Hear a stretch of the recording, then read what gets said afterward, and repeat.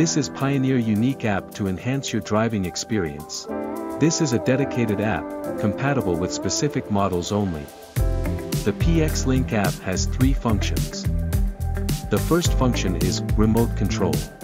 Apple CarPlay or Android Auto as a sub-monitor can be operated. The second function is Customization. You can customize audio receiver to your liking. For example, you can change to your favorite wallpaper and customize shortcut keys. The third function is Firmware Update. Even if you don't have a computer. Display audio can be updated on your smartphone.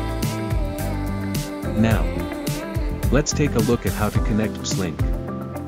First, let's install the app. Next, connect audio receiver and your smartphone via Bluetooth.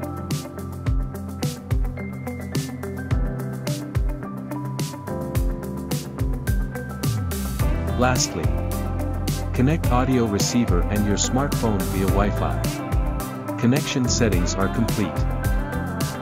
Next, remote control function.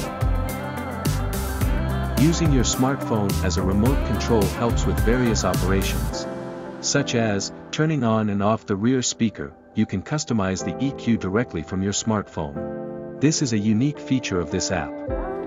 Next, Customization function. Let's take a look at how to add the key. Tap the Edit button. Tap the plus button. Select the shortcut key you want to use. And finally, when you press the Done button, key will be added. You can add, delete, and move keys this way.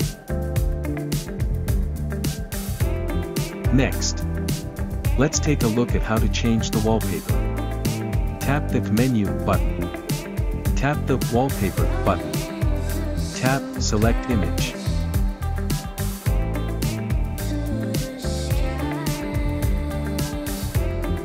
Wallpaper has been changed. Next. Firmware update.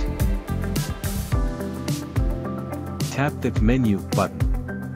Tap the firmware update button tap the Download button. Firmware update will be processed. And finally, here's a helpful tip. You can always launch the PxLink app by pressing the app key located on the top left on the Pioneer audio receiver. Don't forget to install the app today.